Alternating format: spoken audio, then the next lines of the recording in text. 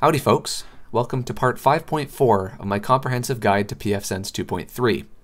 In this video I want to talk about NTP, or the Network Time Protocol. Now this isn't terribly uh, important as far as the grand scheme of things and uh, your pfSense install goes, so you don't necessarily need to watch this video uh, or understand this. Um, you'll be just fine without it. However, NTP is quite interesting, uh, and I'm going to be doing some uh, some interesting experiments uh, with NTP in a few future video uh, to do with pfSense, and uh, uh, it won't be part of this video series, but it will be on this channel. So this is sort of just a, a, precursor to that. So of course, I want to make sure that I cover it in enough detail that people know what it is. That by the time that video comes out, um, people are not kind of wondering where it came from. So NTP is, uh, like I said, it's the Network Time Protocol.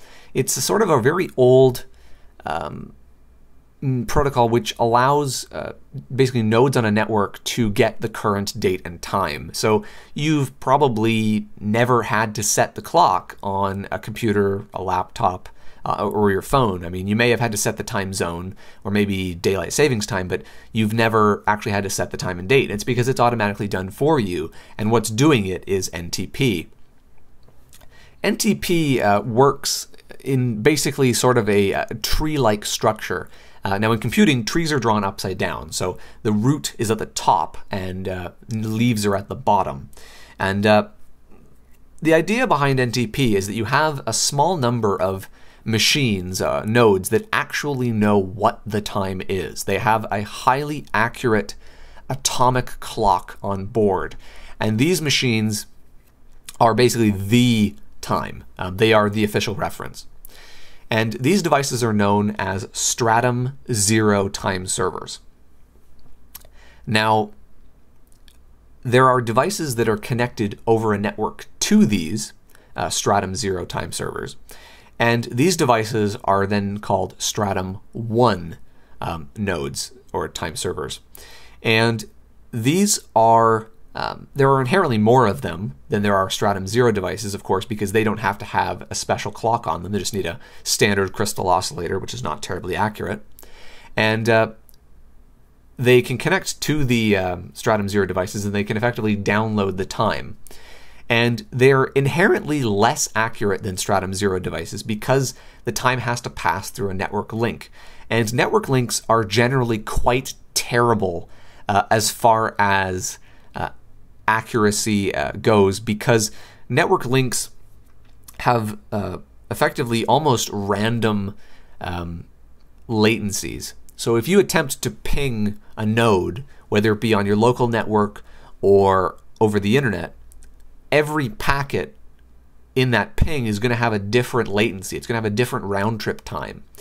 So NTP has algorithms which are designed to attempt to correct for that uh, those random delays, and uh, it allows you to get a relatively accurate time for what it is. Um, and of course, you've got Stratum 0 devices, Stratum 1 devices connected to that. And of course, you can have more devices uh, below that, so devices connected to the Stratum 1 time servers, which are called Stratum 2 time servers. And then, of course, you can have another layer, Stratum 3 devices connected to that, and so on and so forth. And it continues down to, I believe, Stratum 16 is the furthest that you can be from an actual time server. And by the time you're, you're down there, your time is really not that accurate at all. But with, uh, with the NTP pool project, um, you can get uh, you can basically be a Stratum 2 time server. It's not difficult to do that. Uh, and what I'm talking about is the NTP pool project. And this is what allow, allow you to be a Stratum 2 or Stratum 3 um, time server. If, if you ignore pfSense completely, your computer right now, if it's configured properly, should be a Stratum 2 or a Stratum 3 device, which is pretty good. Um, and for most people, um, that's perfectly fine. If you're, you know, a quarter, uh, you know, or half a second off, no one really cares. But uh, this video is kind of for people who care a little bit more than that. Um, one thing that happens inherently is NTP is both a client and a server. Um, so any computer which has an NTP service on it, um, including pfSense, um, will inherently both be a client connected to some time server, getting the time from that, but it will also be a server such that other people can connect can connect to you, and you can serve out um, that time to the other machine. So if you're a Stratum 2 uh, time server, then other people can connect to you and be Stratum 3 time servers in themselves. So that it's all it's this big web basically that's built. Uh, but it's sort of it's sort of a, more of a tree than a web because it, it all starts somewhere, and that is the Stratum Zero um, highly accurate atomic clock devices.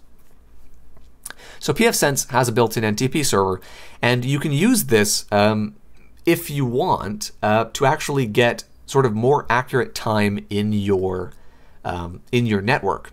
So right now, probably all of your devices are connecting out into the internet um, and connecting to whatever time server they're by default connected to. Um, so for Windows, I know Microsoft runs their own NTP servers. I think it's at time.windows.com. Um, if you're running Ubuntu, Ubuntu has, uh, you know, they've set up uh, with the NTP pool. Um, pfSense um, uses the NTP pool as well, and uh, all that kind of stuff. But they're all getting their the time on their own. What you can do is you can actually have them all go through your pfSense router. Now, what this will do is this will bump down their stratum by one.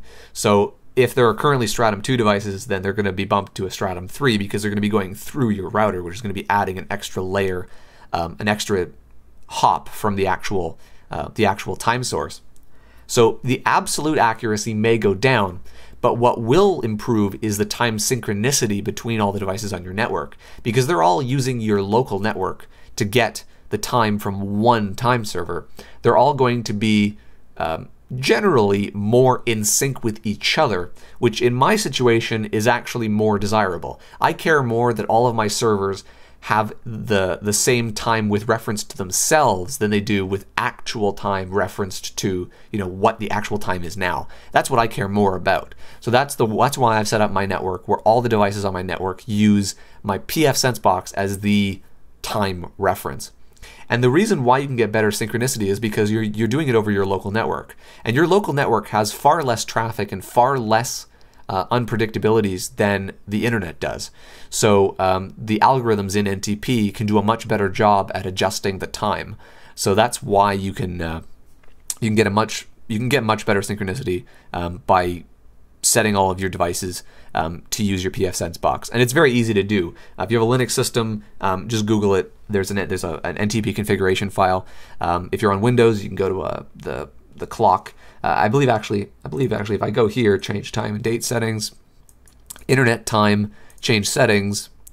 See, it's currently synchronized with time.windows.com, and I can actually uh, sync this with uh, pfsense dot um, local domain um, you need a fully qualified domain name, and uh, you can actually um, set up Windows uh, to synchronize with your your pfSense box. Um, it may not work because this is uh, not a um, not a fully qualified domain name, so it may actually uh, not work because Windows is not configured properly. But you can do it. Um, I, I, do do it on my network, so uh, you may need an FQDN for that. I'm not quite sure. Uh, I'll put in the video description if I can uh, find out uh, exactly what the requirements on Windows are.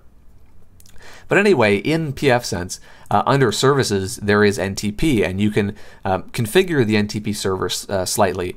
Um, you can set up which interfaces you want it to listen on. Generally, that's all the interfaces by default. But if you want to exclude it from one for some reason, you can you can do that here. Um, by default, it will uh, go to one server from the NTP pool. Um, however, adding more time servers uh, is better because you can it, basically NTP will use the multiple servers that you have to sort of correct for variations in each other, and uh, you can that will result in a more accurate time. So what you can do is if you go to the uh, the pool.ntp.org project, um, you can actually see the way that they uh, the way that they do servers. So I can actually add um, more time servers to my pfSense box by just hitting add and adding more more time servers, and that will inherently improve uh, improve the time accuracy. Um, the other thing that you can do is you can enable NTP uh, graphs. You can enable RRD graphs for the NTP service, which is dis- disabled by default, but I've, uh, I've actually checked it uh, because what's really nice uh, about this is, I mean, I like graphs, I like logging. Uh, more data, the better. And uh, because these are RRD graphs, they don't use up a lot of memory. It's probably less than a megabyte. And uh, what they do is they actually allow you to see the drift and the wander and the jitter uh, of your system clock uh, with reference to the NTP uh, time servers. So um, you can actually see and watch NTP correct your clock um, and in, in, a graph form. Um, and this is kind of interesting to watch because most manufacturers of motherboards generally put a really bad crystal uh, or a really low quality uh, clock crystal uh, in the motherboard because they know that the operating system is probably going to be running NTP, and as a result, um, they don't have to put a really good high accuracy crystal in it because they know that NTP is just going to be correcting it all the time anyway. So you can kind of, uh, I mean, most most motherboards are actually really terrible. Um, they're some of the worst um, time sources I think I've ever seen. Um, I used to have servers that didn't run NTP. Um, uh, Ubuntu actually by default doesn't have NTP uh, enabled. Uh, it only turns on once when at boot up, and it doesn't run ever again. So of course, servers they boot up once, they stay on for a long time. Um, I actually had two servers. One of them was fast, one of them was slow, and over the course of six months, they drifted several minutes apart. And they had to do. Um, they actually had uh, one was a database, one one was running applications, and they were actually uh, communicating with each other and um, it was causing all sorts of problems because the timestamps were messed up. So um, after I enabled, I installed NTP and I set them up to use my pfSense box, and now they're pretty much perfectly in sync now. So um, yeah, it's kind of interesting to see. And of course, the clock on the, the router is not great either, so you can just see it uh, um, getting corrected in the graphs, which is kind of cool. You can set up logging and other stuff like that, but generally speaking, um, that just kind of gets spammy, and I don't really bother to do that. And you can actually go to um, the NTP uh, status page, and you can see um, what's currently going on here. So this is the the output um, from an NTP command, just sort of in a nice um, web page style table here, and uh, you can see right here we have uh, our current active time server is a Stratum one time server. Um, and uh, you can actually look online as to what these mean, um, poll and reach, and it tells you actually what these mean. Um, the delay, offset, jitter. Um, I'm not going to go into defining these because I'm sure I'm going to get it wrong. Um, uh, but Wikipedia explains what these are. I'm sure. I'm sure of it. But th- this will show you all the time servers that you're currently connected to. So one of the other things that you can do with pfSense, which is what I'm going to be doing um, in a future video, is actually uh, creating my own Stratum Zero time server. Now, I don't own an atomic clock, but what I do own is a GPS. And GPS, for those of you that don't know, GPS is uh, effectively just a bunch of satellites with really accurate atomic clocks on board. That's all GPS is, it's just time. Um, the idea is that you have uh, GPS uh, satellites that are overhead. They're all broadcasting their time. That's all they do. All, all, all GPS servers really, really, or uh, GPS satellites do is they just broadcast the current time. Uh, and of course, due to the speed of light, time is different um, coming in from each satellite because the satellites are different distances to you. And your GPS module has a really accurate clock that's synchronized. It's it's locked in with the time from these satellites, and it can then calculate the drift, the difference in in, in, in time between the different GPS satellites, and it can triangulate your position. I think you need four servers or uh, four satellites to uh, determine your exact position on Earth. Three of them for um, the the uh, location, and then one of them for the altitude. And uh, what I'm going to be doing is I'm going to be connecting uh, a GPS to my pfSense box, and I'm going to be using a special output on that GPS, which I'm going to be wiring into my motherboard, um, that creates a very accurate pulse per second output that my NTP server can synchronize to, and I can actually uh, basically get um, a Stratum Zero output from it, uh, as, a, as basically as close to that as I'm going to get. And uh, you can get like nanosecond, uh, microsecond to nanosecond accuracy with a GPS module um, these days, and uh, the whole cost for all the hardware I'm going to be installing is going to be uh, it's under twenty five dollars Canadian. So um, I haven't done this yet, so hopefully it works. Um, but uh, that's going to be a, a, video in its in its own right.